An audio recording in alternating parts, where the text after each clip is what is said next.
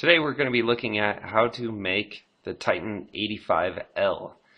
The L designates that this is a lathe part, which is meaning that we're turning this material. It's a cylindrical part. Let's take a look at our blueprint first. That way we better understand what's going on with this part. Very first thing that we have going on, this area right here where I'm moving my mouse around, this is our front view. Notice on the front view, it is stating that the overall diameter of the outside of our part is 950 thousandths. Look, looks like there's a hole on the end of it, and that hole has a 380 thousandths diameter chamfer at 45 degrees. There is a sectional view right here going from A to A. To the right of our front view, we have our section view. In our section view, we have all, pretty much all the measurements that we're going to need to make the revolve part. And as we stated over here, there is a tapped hole. This tapped hole is 3 8 16 unified coarse. And notice right here it says we want 320 thousandths minimum of threads. Okay, and then over here, looks like we got some corner radiuses. Uh, we have some information stated about our drill diameter that actually is used to make the threads. We have our overall diameter. We have a detailed view here. We have our X measurements here. We have another corner radius. Some more X measurements. We have this nice circle here with its dimension here. Over here, these are the thread measurements um, as indicated in detail B. The overall major diameter of the threads needs to be 490 thousandths. And then our thread relief diameter here is going to be 300 thousandths. In the corners of where our thread relief are, there is also a corner radius at 20 thousandths max. That particular radius is derived by the, actual tool that is used to make that feature. To the left of this, we have our isometric view, which is our three-dimensional view. We also have another detailed view, which is indicating our pitch diameter, our major diameter, and our minor diameter. Right above that, we have our thread chart.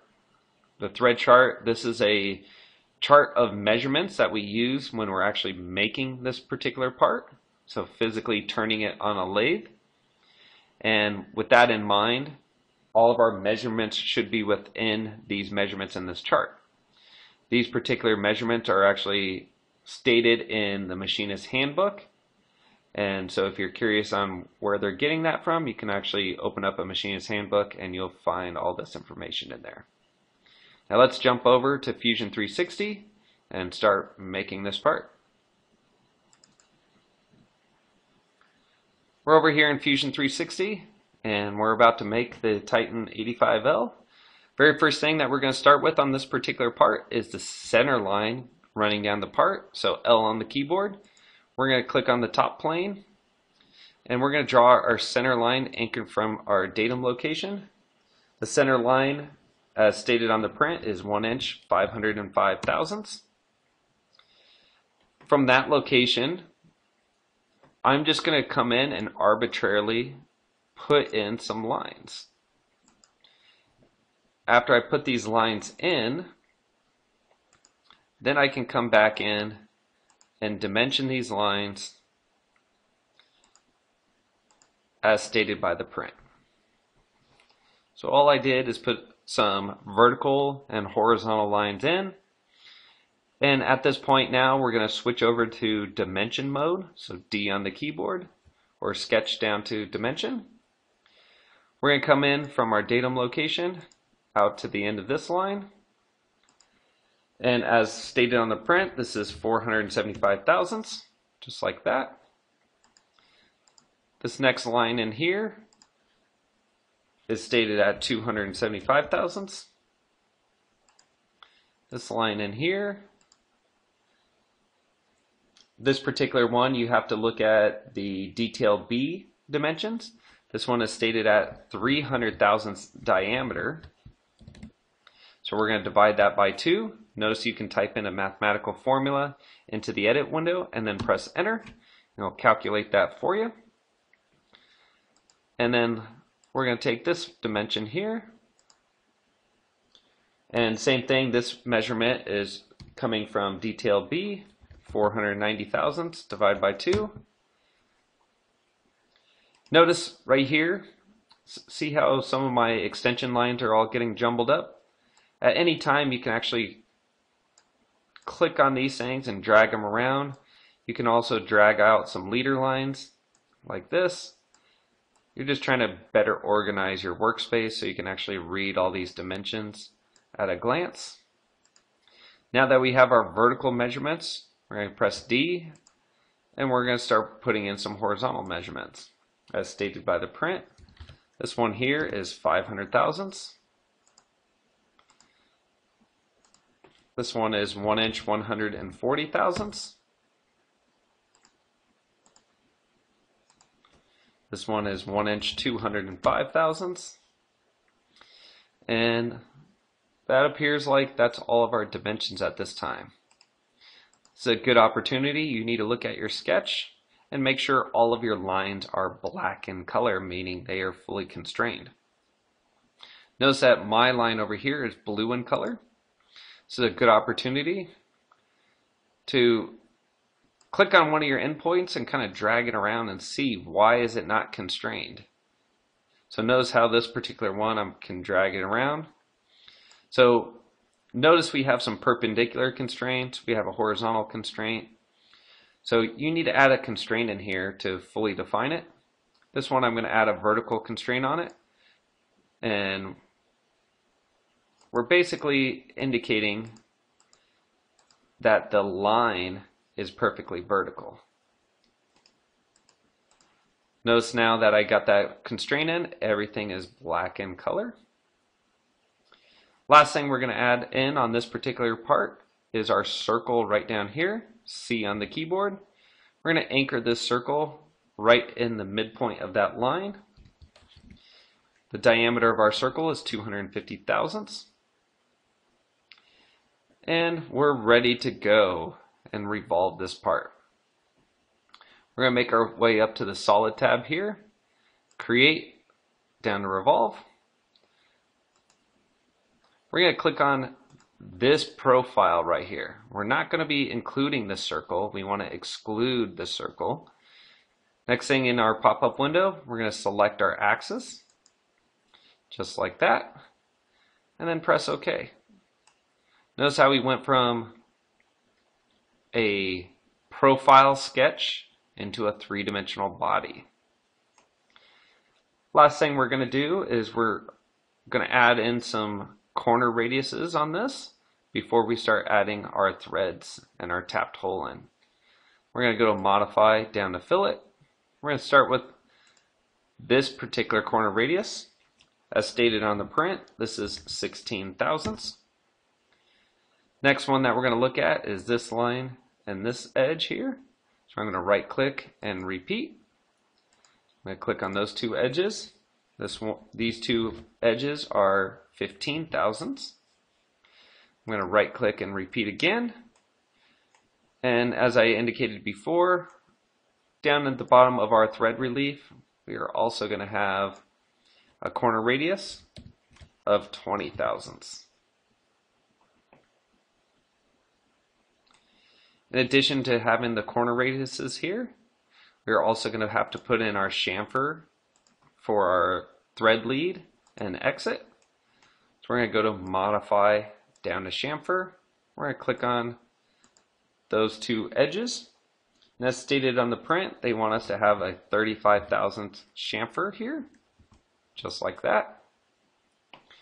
Now lastly, if you look at the, the notes on the particular print, any other sharp edges, so for example, this edge, this edge, and this edge needs a a 10,000 chamfer at 45 degrees. We're going to right click, repeat. We're going to finish up those three edges there. Notice how it says 3. And we're going to type in 10 thousandths. So our part is fully deburred now. There's no sharp edges on it. Now we're ready to add our threads. So just like on the Titan 84L, we're going to go down to Create, down to Threads.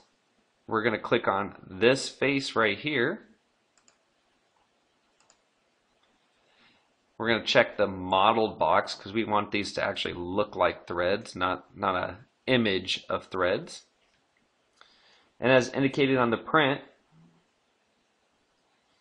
these particular threads on this part are half 13 threads.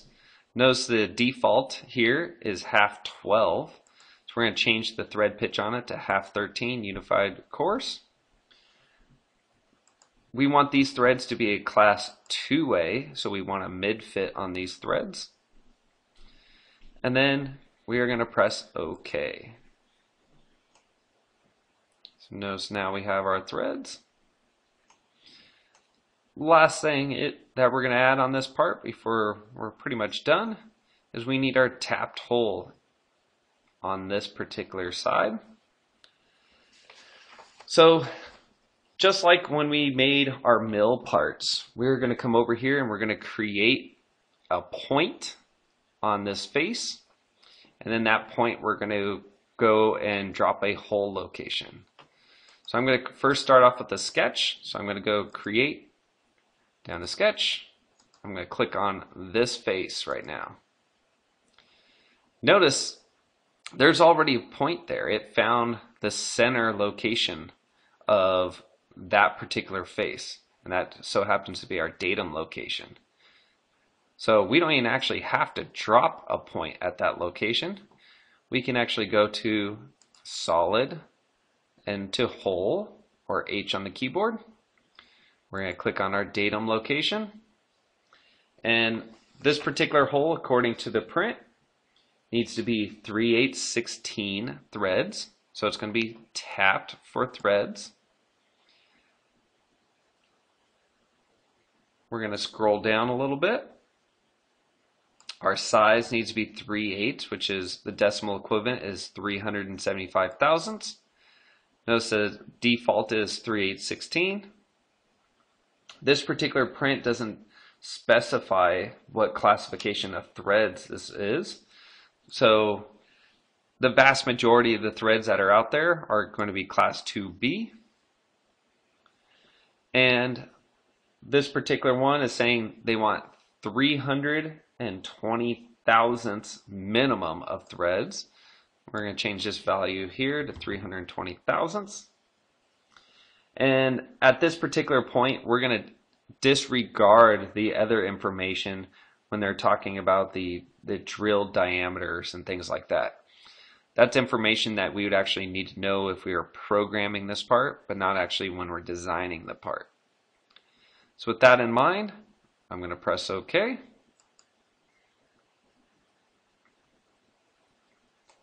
And notice we have some threads. Now, lastly, I'm going to come in and edit my threads. I don't like the the visual representation of these threads. So I'm going to go down to my history markers, right click, edit. I'm going to scroll down here and check the model box. And then one thing I, I noticed that I missed on here is we also need to add in that chamfer. So we're going to scroll back up to the top and we're going to cl click on the countersink button.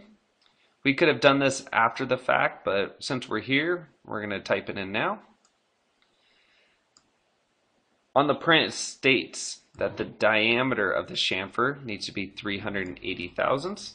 So I'm going to change that to 380. And then that the angle needs to be 45 degrees. But notice on this pictogram, they're talking about an included angle from one side to the other. So we actually have to take that 45 degrees and multiply it by 2. So 45 times 2 gives us 90 degrees. And now we're going to press OK to update our part. And notice we got some beautiful threads now. And we have our chamfer. This is a good opportunity. Double check your part. Make sure it looks like the blueprint. Because when we're actually making these parts for a customer, they're not going to accept a part if it's not what the blueprint is asking for.